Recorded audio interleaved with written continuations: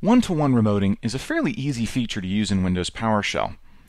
We'll take a look at the enter ps session commandlet, and this is what allows us to start an interactive session with a single remote computer. As you can see, we can provide its computer name, and if we need to modify any of the defaults, such as the authentication or the port that we're using, or whether or not we want it to use SSL, we have different switches that can specify all of those things. But at its simplest, we simply have to say enter ps session and then provide the computer name that we want to get to, such as server-r2. Wait a few seconds for WinRM to negotiate that, and you'll notice that the prompt actually changes. This tells me that I'm now on server R2, and I can run whatever commands I want to run.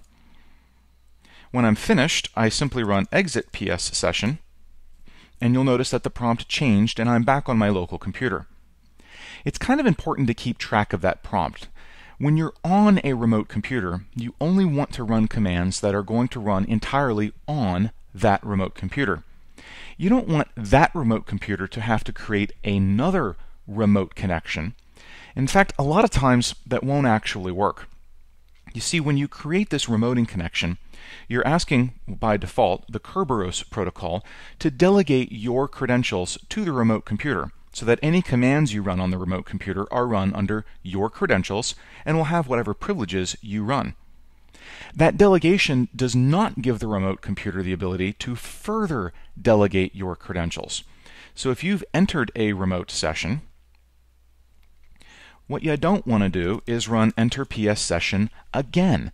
You don't want to remote from this middle computer to a third one. Keep everything just between the two of you before you create another remote connection, exit this one, come back to your local computer, verify that the prompt has changed, and then you'll be able to create a new session.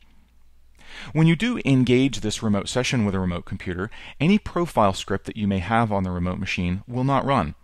You will, however, still be limited to whatever permissions your user account has, which is why, in some cases, you may want to specify an alternate credential.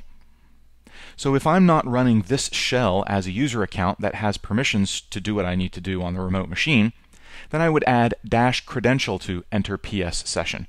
I would provide the username that I wanted to be on the remote computer. I would be prompted for the password, and the remote session would be created using that credential rather than the one that I used to run PowerShell on my local computer.